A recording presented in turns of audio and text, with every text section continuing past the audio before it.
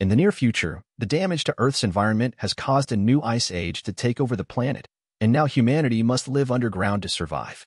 In one of the few remaining outposts, an alarm rings and yelling can be heard before two terrified people begin running down the hall because something dangerous is going after them. They reach the door, but sadly it's locked, and the duo is killed by their chaser.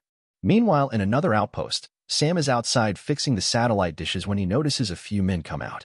The sick guy asks for one more day to recover, but Mason thinks they've already wasted enough resources on him and gets ready to shoot him, ignoring the fact the guy is asking for the walk. Sam interrupts them and reminds Mason that sick people get the choice to walk away or get shot, which should be respected, but Mason doesn't care and kills the guy anyway, saying it's for the sake of their survival. As Sam returns inside, it's revealed that because these few survivors live in a confined space with limited resources, they've become scared of the common cold. The last time they had the flu, it killed 20 people in less than a week. That's when their leader Briggs made a new rule. If someone gets sick, they go into quarantine. If they don't get better, they get to choose between a bullet or a long walk in the snow. The people in this outpost work hard to take care of each other and keep on growing seeds, but they aren't the hundreds they were in the beginning because food gets more scarce every year. There are rumors of a paradise with warm weather, but Sam doesn't believe them. Sam goes to see Briggs to tell him about Mason breaking the rules, and while Briggs isn't happy with what he's hearing, there's something more urgent he must take care of first. They go into the communications room and Cooper informs them they received a SOS loop from Colony 5, yet they aren't answering any messages. Briggs calls for an emergency meeting in half an hour while Sam goes to see Victor, who is in charge of the livestock. Unfortunately, he also has bad news. The last litter of rabbits was stillborn, and of the 12 remaining ones, there's only one female that the other rabbits don't want to mate with. Meanwhile, Briggs goes to see Mason to scold him for what he did, but Mason still defends his decision, saying walkers will just come back and take their food. Afterward, Sam goes to see his girlfriend Kai, who gets him some pellets for the rabbits while talking about her work. She thinks working weather modification tech exists and it's buried somewhere under the ice, so she'll continue to search for it with their radar to never lose hope. Moments later, the survivors gather for the meeting.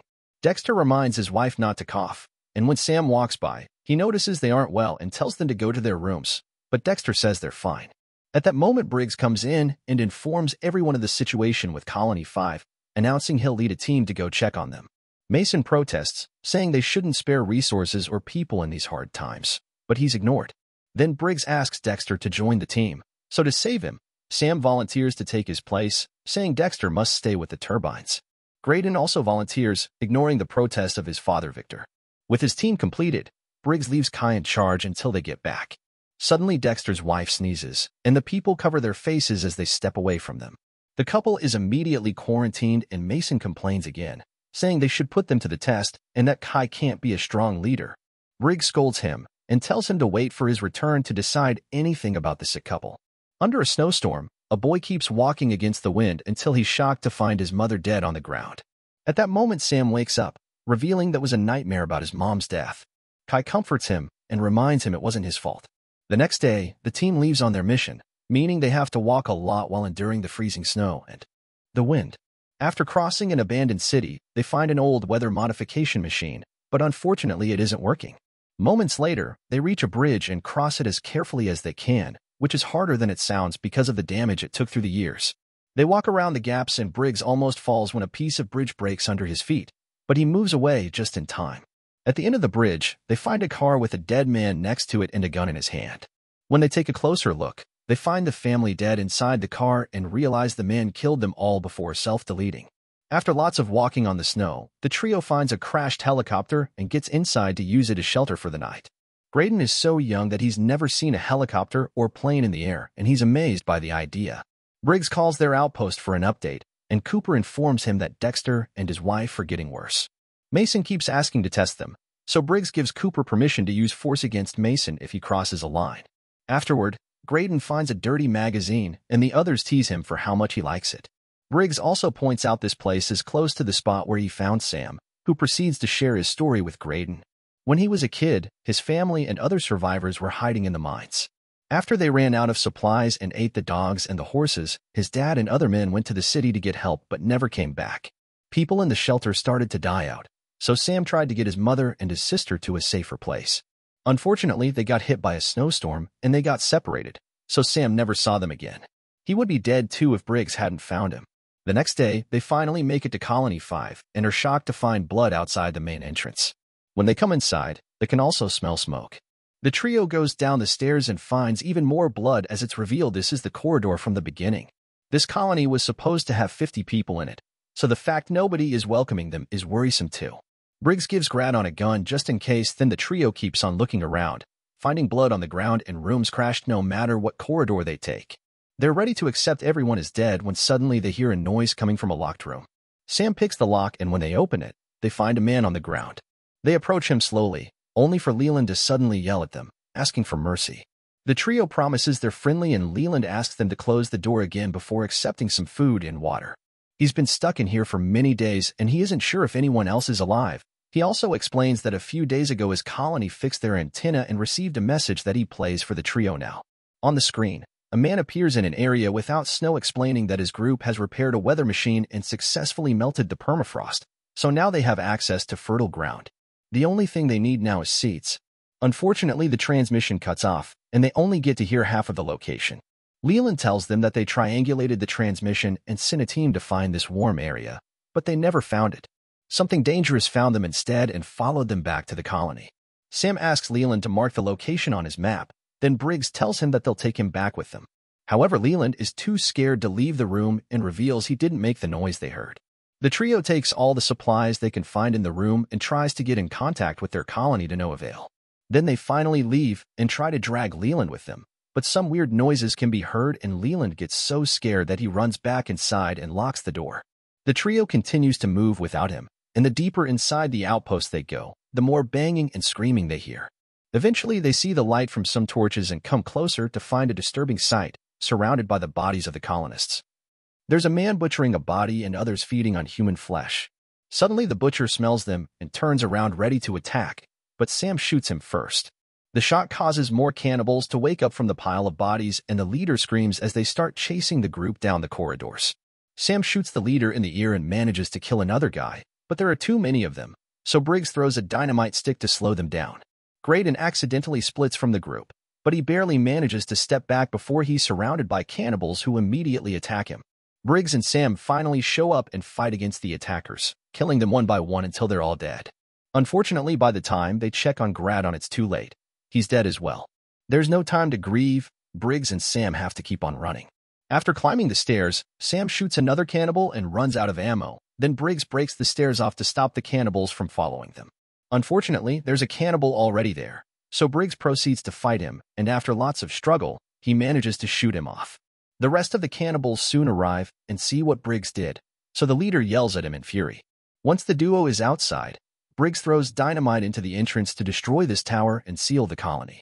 They walk under the snow for a while, and when they find the helicopter again, Briggs decides they'll spend the night in it because the temperature is dropping too fast. They begin discussing the cannibals and Briggs says that that people do terrible things to survive. Then he shares a story about his time in the army. During the relief, 20,000 people were corralled in a stadium. The soldiers handed out food and the doctors treated the sick. But when the food ran out, people with guns started taking things from people without guns.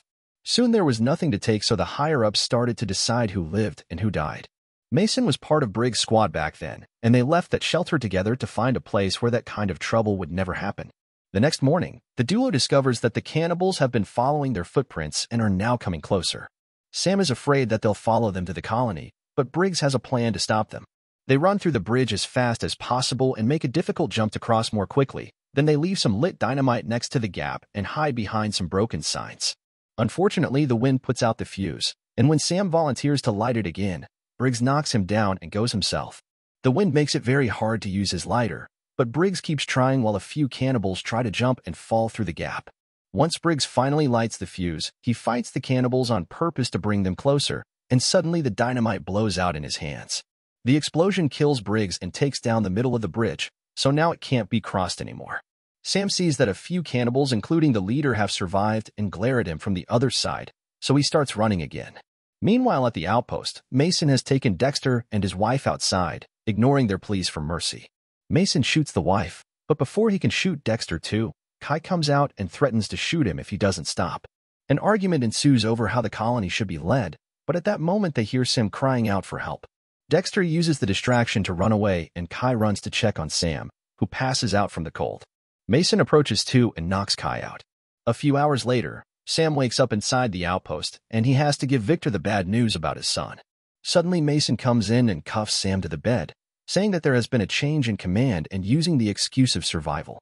Rations will be cut in half. Anyone showing signs of sickness will be tested immediately, and whoever refuses to work won't eat. Sam tells Mason everything that happened and insists they should leave before the cannibals find them, mentioning the warm place he saw in the video. However, Mason doesn't believe him and leaves the room, taking everyone with him. Before leaving, a little boy reveals that he stole the handcuff keys and secretly hands them to Sam. Outside, Mason and Victor keep an eye out for possible invaders but see nothing. Victor points out that Sam isn't the kind to lie, so they should be ready for an attack anyway. They decide to use the security cameras instead, but they're interrupted when another colonist informs them Sam has escaped. Back to Sam, he goes looking for Kai and finds her restrained in another room. After quickly releasing her, he uses her computer to look for the location of the message. At first, he sees nothing, but after looking around, the radar finally picks up a warm area, confirming a thaw exists. The couple takes as many seeds as they can carry in their bags and runs to tell the others, only to be intercepted by Mason and his men, who remind him who is in charge. Suddenly, there's a loud banging noise outside, so the group runs to check the security cameras. To their horror, they see the cannibals hitting the doors to try to bring them down, and the leader holds up Dexter's head as a threat before breaking the camera. Finally believing Sam, Mason quickly gives orders. Everyone that can shoot must be given a weapon, and the rest of the people shall hide in the vault. While Cooper guides all the colonists to the vault and guards the door, the armed group runs to the corridor to wait for the door to come down. For a moment, the lights go out, and when they return, the door opens yet nobody comes in. Now the noises can be heard inside the shelter, and suddenly a cannibal bursts out of the vents right in front of Cooper. He tries to defend himself, but the cannibal knocks him down and runs to the vault, only for the colonists to close it on his face. In another corridor, a lost girl is looking for shelter, but a cannibal finds her and kills her. The armed group realizes the cannibals are in the vents too late because the enemy finds them as well. A very fierce fight ensues with both sides losing people, but no matter how many cannibals they kill, more keep coming. Sam and Kai run away, but Victor is tired of running and battles against the leader. He puts up a good fight, but sadly the leader kills him first. Meanwhile, a wounded Mason runs to his safe room where a few survivors that didn't make it to the vault are hiding, closing the door before Sam and Kai can enter too. A cannibal is getting closer, so a colonist knocks Mason down and lets the couple come in, but unfortunately the cannibal manages to follow them into the room.